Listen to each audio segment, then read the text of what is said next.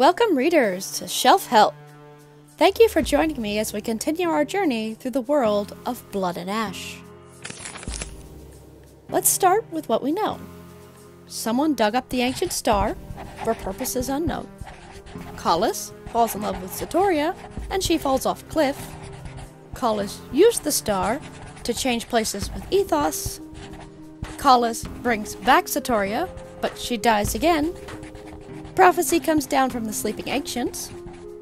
Kolis murders Eythos' wife while she's pregnant, but Nyktos lives. Eythos consults the fates. Eythos makes the deal for the first daughter of the Mierel bloodline. So let's get into the books, starting with A Shadow in the Ember. Our main girl for this series is Seraphena. I had been groomed within an inch of my life after the bath, hair plucked and waxed from all manner of places. The gown, if it could be called such, had been constructed of sheer chiffon and little else. I hated the dress, the bath, and the grooming that had come after that, even though I understood its purpose. I was to entice, seduce. She's 17 here, by the way. Considering my other series, chapter by chapter, I feel like it can't not draw the parallel between Seraphena and Isla. Both were raised in very isolated circumstances to seduce and kill. The results are very different. For one, Sera's upbringing isn't fundamentally silly.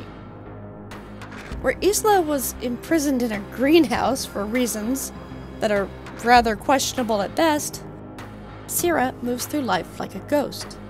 She's surrounded by people who are for forbidden to even acknowledge she exists, must cover most of her face with a veil so no one can look at her, and is not allowed to speak or touch anyone.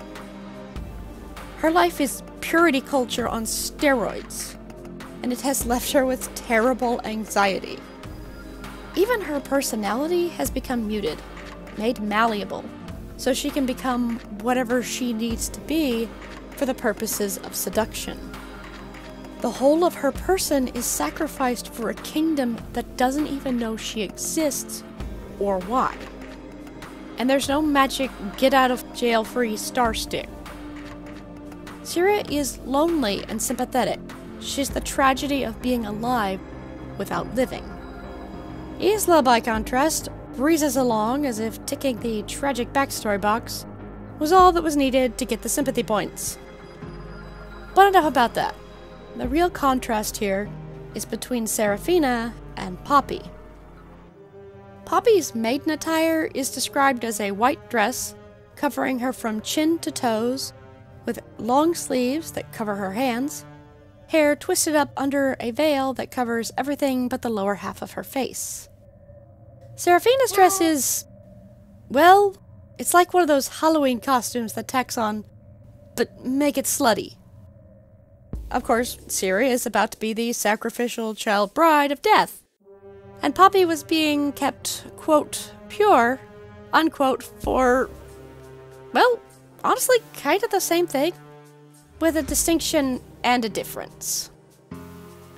But there is a very purposeful parallel between Poppy's story and Seraphena's, which thankfully is used with a light touch. While interesting as a literary device, no one needs a full retread of the previous book. The next point of interest is found a few paragraphs down. The price that had been promised 200 years before I was born. This is our first reference to the deal, I wonder who intervened to make sure a single family went 200 years without any girls. That's what, eight generations, give or take? Of course, Nyktos needed time to grow into his primal powers. I kind of wonder if the fates nudged the odds. I thought of the mortal Sotoria, whom the steep bluffs had been named after. Legend claimed that she had been picking flowers along the cliff and fell to her death after being frightened by a god. And there's our first Sotoria mention, as well as the cliffs and her death. The connection between Sotoria, Seraphena, Poppy, and Kolis is the thread that ties the whole story together.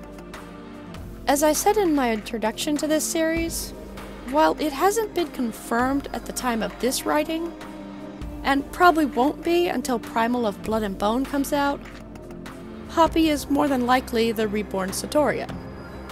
Her journey from mortal to Primal Plus was a messy one. I'd like to make a prediction here. Sotoria jumped. The only account we have of events comes from Kolis, who, as we will see, is not a reliable narrator. Sir Holland wasn't here. I would have liked to say goodbye to him, even though I didn't expect him to be here.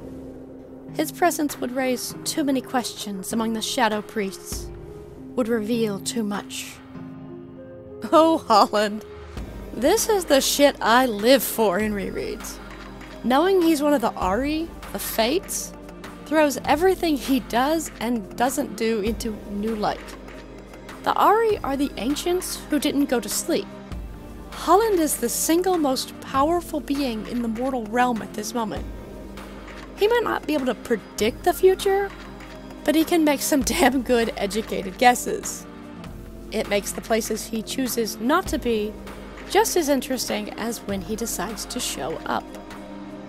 Having a fate just hanging out at the Shadow Temple when Nyktos arrives to pick up his promised consort is going to raise a lot of questions, but none that Sera is worried about. There was no way he could know that in the 200 years it had taken for me to be born, the knowledge of how to kill a primal had been obtained love. They had one fatal weakness that made them vulnerable enough to be killed, and that was love. Make him fall in love, become his weakness, and end him. That was my destiny. Okay, we're gonna put a big old shiny pin in that one. It's a big one and cuts through the whole prequel. And Holland just rolled with it and said not a word here. He knows the truth, and he didn't say a damn thing. Of course, the thing with the Arae is they have two tasks. First is to keep the balance, and second, to not interfere. This is why I say they are a who watches the watcher situation. They can't do both at the same time. But who gets to say what interference is? You can't observe something without affecting it. You can't teach the double souled mortal vessel of the embers of life how to fight, be her guard, and give her advice, and not have an effect on the choices she makes. In addition, they only answer to the true primal of life. Eythos is dead, and Sera hasn't come into her power yet. Kolis can do nothing to stop them, which must really piss him off. Also, pivoting back to Lightlark for a minute, this is why execution is important. This is almost the same goddamn plot setup. Yes, I'm just realizing it. Yes, I find it a wee bit unsettling. I wasn't even sure I breathed as I looked into the void where his face should be. The primal of death shifted closer, and one of the shadow tendrils brushed across the bare skin of my arm. I gasped at its icy feel. He lowered his head, and every muscle in my body seized. I wasn't sure if it was his presence or the innate instinct we all had that warned us not to run, not to make sudden movements in the presence of a predator. You, he said, his voice smoke and shadow and full of everything that awaited after someone took their very last breath. I have no need for a consort. On its face, it's very easy to assume the simple solution is for Nyktos to suck it up, just take the embers, become primal of life, and kick Kolis in the teeth. Surely that's what Eythos intended. Is it though? The prophecy came down between when Kolis took the Embers of Life and Eythos made the deal. And we know Eythos consulted the Fates. The problem isn't just that there is no true primal of life, it's that there are two primals of death. Even if Nyktos took the Embers of, from Sera, he wouldn't stop being a primal of death, just like Kolis did not stop being the true primal of death. Thus, death would still outnumber life 2 to 1. There's also the problem that the primal embers come with anti-piracy software. There are only two for sure ways to become a primal. One must either be born with primal embers, or they must be ascended to primal by the true primal of life. Even though some of the embers in Sera's blood originally belonged to Nyktos, there's no guarantee they would accept him back. And even if they did, not only there's still two primals of death, but we're back to Eythos's dilemma. And with the first and last of the Mierel bloodline dead, there would be no second daughter to become blood and bone, a primal powerful enough to kill Kolis. Could a new deal be struck, or are the embers of life now irreparably tied to the daughters of a single bloodline? That seems like a pretty shaky basket to toss the fate of the world in. Moving on to the story proper. At this point, the story hums along for a while, building on the world and Sera herself, before we get to the next important overarching point. Sera meets Ash for the first time. Well, second time. But this without the context of him being the primal of death. Why, yes, I am going to accept this convention of the genre without comment or question. I don't question the tech in science fiction, the magic in fantasy, or the meet cute in romance. I will not try to order a milkshake at a Home Depot. What is fun here is that we get a mirror scene for the time Casteel caught Poppy on the wall during the Craven attack. Though this time, they're hiding from murderous baby-killing gods. And we get our next Sotoria reference. The contact of my mouth against his caused my stomach to pitch, like it did when I came too close to the edges of the cliffs of sorrow. Seraphena was born with more than one soul, though she doesn't know this yet. Along with the Embers of Life, Sotoria's soul was placed in Seraphena's bloodline, to be born with the first daughter of that bloodline. And we learned that while Sotoria can't really communicate, she is conscious on some level. It's not a stretch here to say that what Sera's feeling near the cliffs may not be her own.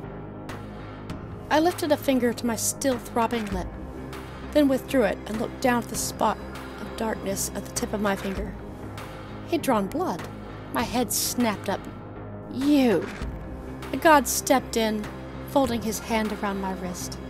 He lifted my arm, and before I could wonder what he was about, his mouth closed over my finger, and he sucked.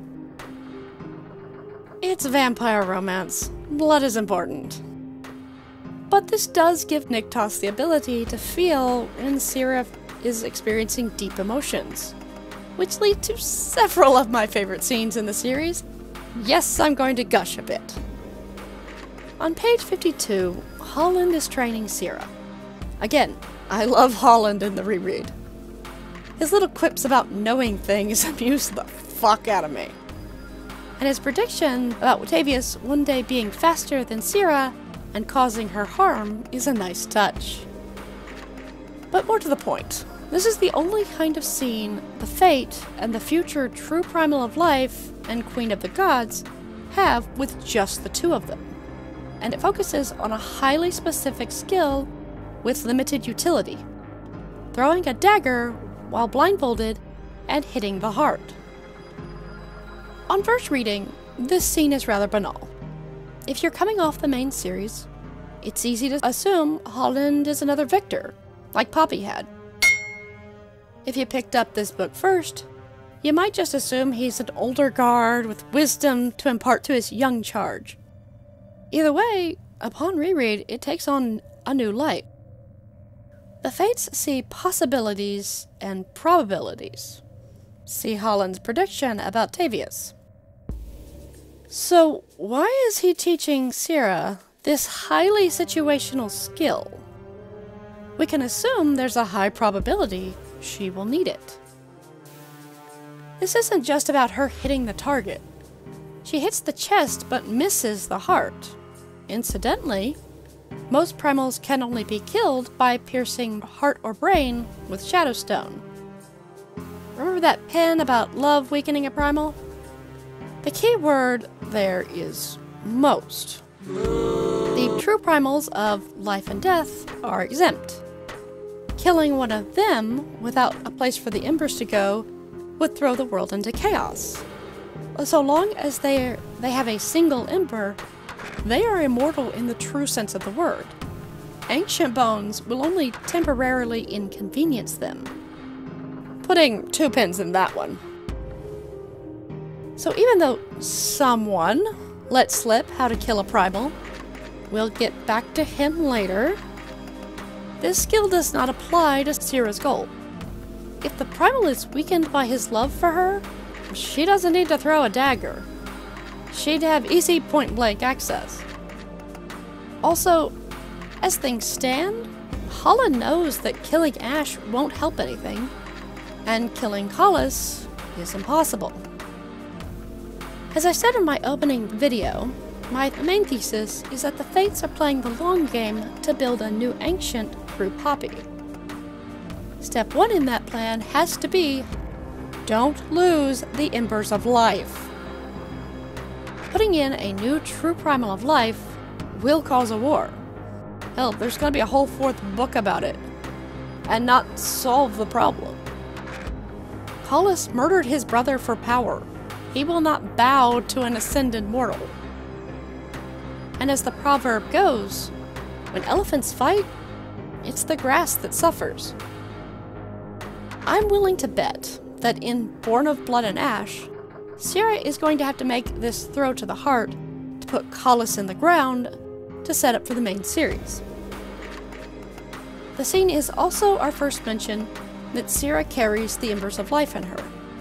And Sera thinks about the deal made promising her to death and how she failed and what it means for her kingdom and her people. I don't think it's ever addressed exactly what the royal family knows about the deal, they know the first daughter was promised as a consort for death, but so far, only Holland has brought up the subject of the Embers. It's possible they don't know the extent of what Eythos did, and most certainly don't know why he did it. Skipping forward, Sera encounters another victim of the murderous gods. She still doesn't know what they're up to. Ash sneaks up behind her and she reacts on instinct to stab him in the almost heart with her Shadowstone dagger. Because the heart stabbing is foreplay in this series. But like Casteel, Nyktos got better. And then the dead woman gets up as Craven. Craven are what mortals become when their blood is drained and not replaced. They're functionally zombies. Fast zombies. Even Nyktos has never seen a Craven, which is interesting.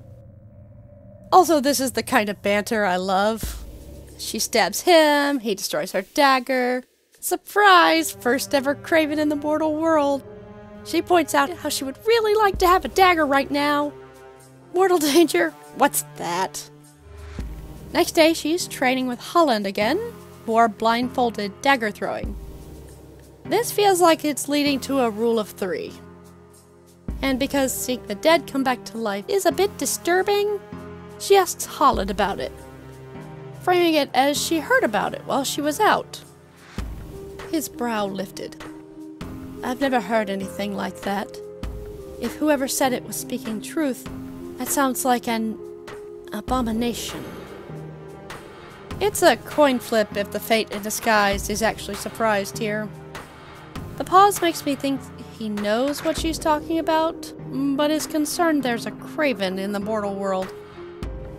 But we don't get any more here, because Sera's stepsister comes to abscond her off to do a murder. I mean, rescue an abused child. Later, covered in blood because she definitely did not intend to murder the child abusing bastard. It just happened that way. Again. When he slipped and slit his throat on the knife she was holding. It happens. Anyway, she goes to clean up after swimming her lake. A lake made from one of the largest Shadowstone deposits in the mortal world, where lo and behold, she meets Ash, yet again. She accuses him of being a creeper and threatens to stab him.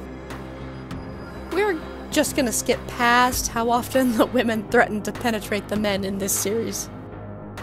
They're attacked by hunters, a type of Gyrm who are mortals that agreed to serve the gods instead of passing through the pillars. Two important notes here.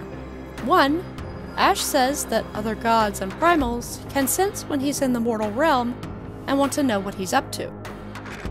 But Holland has been hanging out in the same castle for 20ish years unnoticed.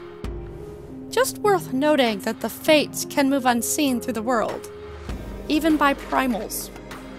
The second is that Sera notes that Gyrms smell like, like stale lilacs.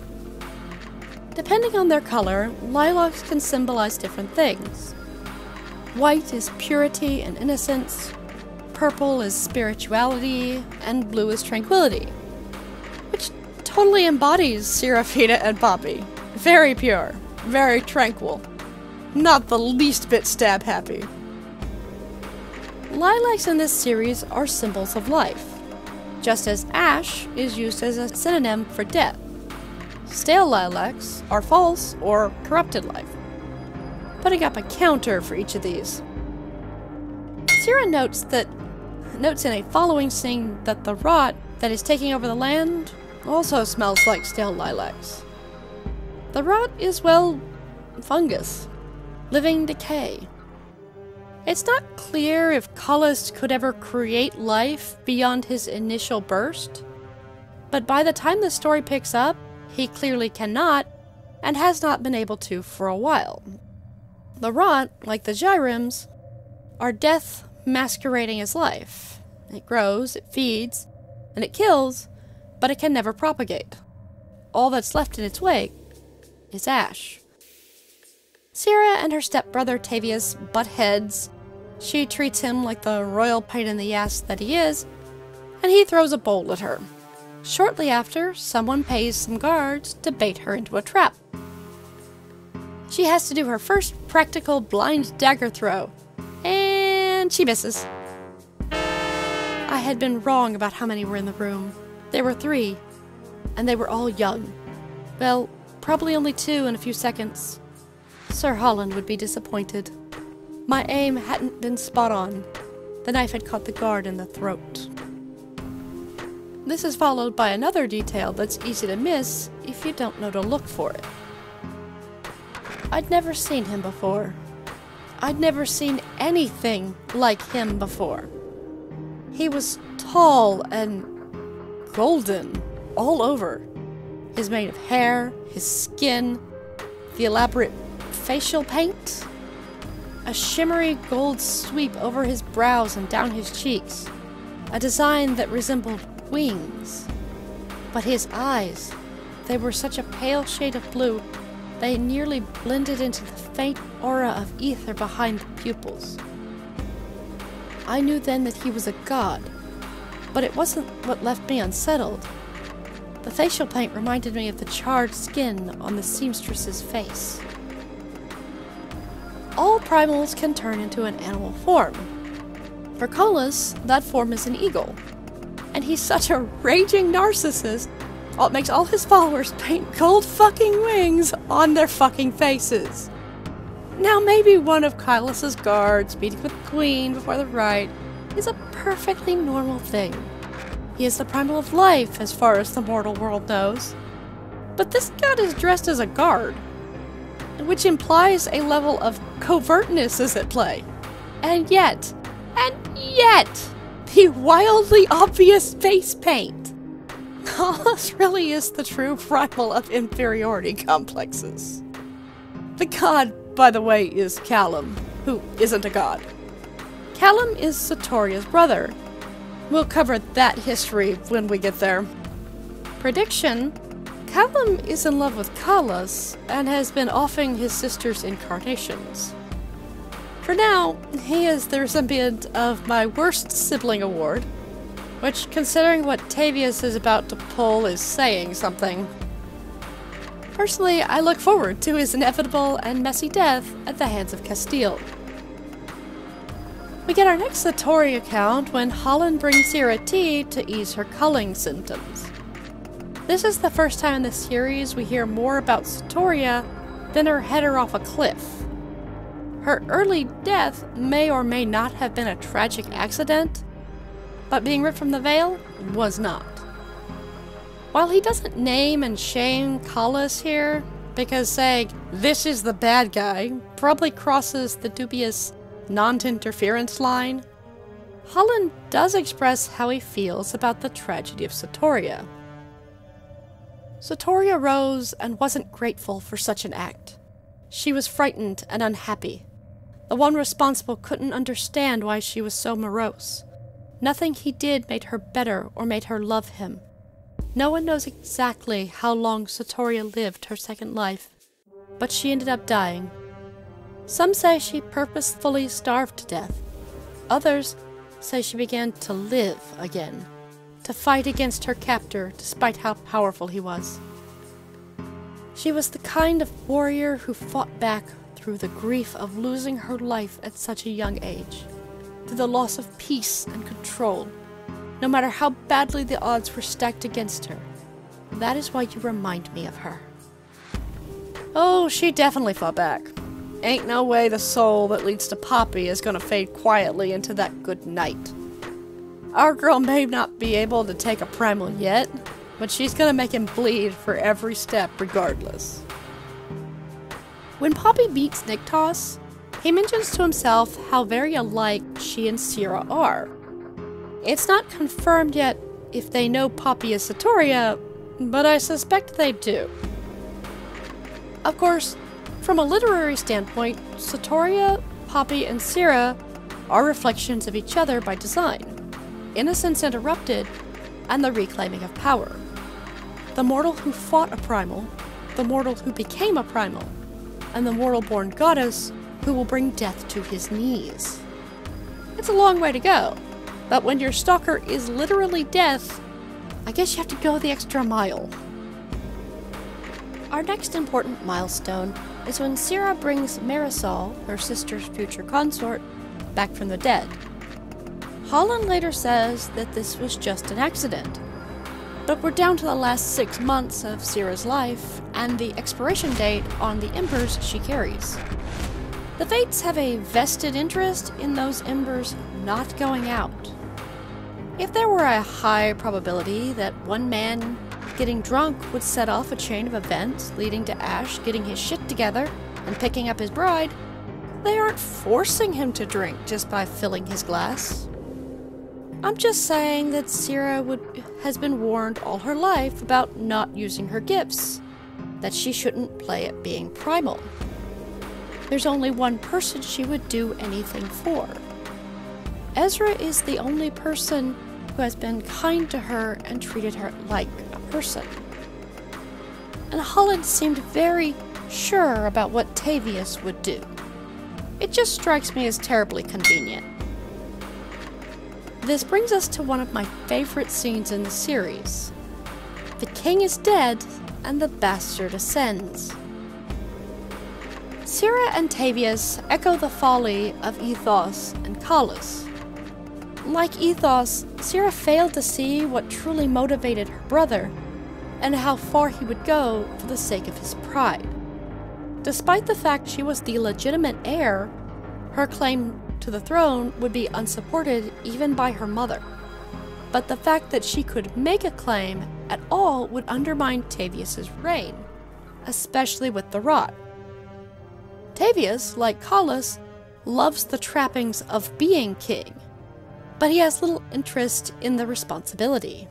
This is also where Holland's prediction that Tavius would one day be faster comes to pass. Also, he fucks off and doesn't help because he knows Ash will. I guess this is a non interference point.